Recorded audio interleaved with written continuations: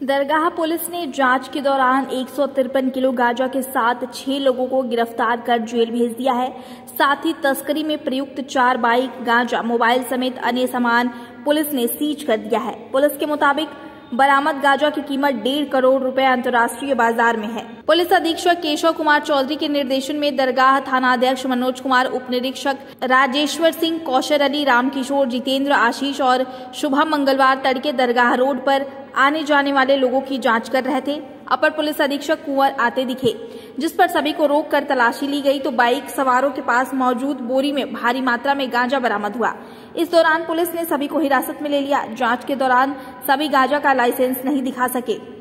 इस पर दरगाह पुलिस सभी को थाने ले आई। अपर पुलिस अधीक्षक ने बताया कि सभी के विरुद्ध मुकदमा दर्ज कर जेल भेज दिया गया है।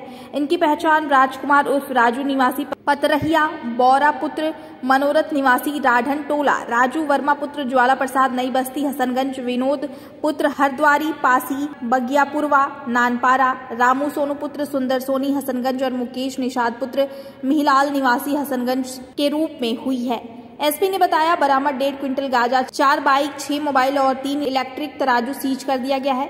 अपर पुलिस अधीक्षक कुंवर ज्ञानेन्द्र सिंह ने बताया कि बरामद गांजा की कीमत अंतर्राष्ट्रीय बाज़ार में डेढ़ करोड़ रुपए है। उत्तर प्रदेश शासन के निर्देशों में पुलिस अधीक्षक बहराइच महोदय के नेतृत्व में आज दरगाह पुलिस को एक सफलता हाथ लगी है, जिसमें एक सौ तिरपन किलो गांजे की बरामदगी हुई है। उसके साथ ही साथ उसमें चार अदद मोटरसाइकिलें रिकवर हुई हैं। तीन इलेक्ट्रॉनिक धर्म काटा रिकवर हुआ है। साथ ही साथ आठ अदद मोबाइल फ़ोन जो है ये रिकवर हुए हैं। ये समस्त अपराधी गांजे का कारोबार करते थे। अगल बगल के जनपदों में, खासकर श्रावस्ती और बलरामपुर तक इनका नेटवर्क फैला हुआ था। ये सारे लोग पकड़े गए हैं।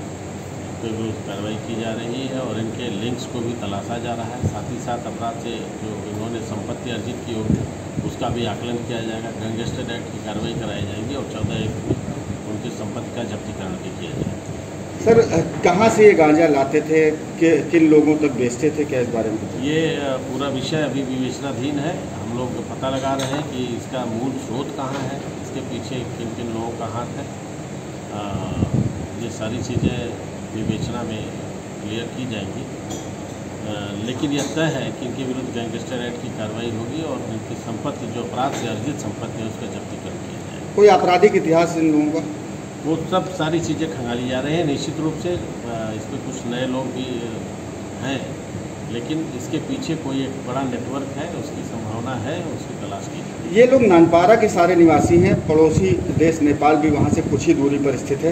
क्या लगता है विदेश से भी इसके तार जुड़े हो सकते हैं? बिल्कुल ये हमारा जो पोरस बार्डर है यहाँ से स्मगलिंग होती है और अवैध मादक पदार्थों की इस पर हमारी भी नज़र है और नेपाल पुलिस से हमारा जो कोऑर्डिनेशन बैठक होती है उसमें उनकी भी नज़र है।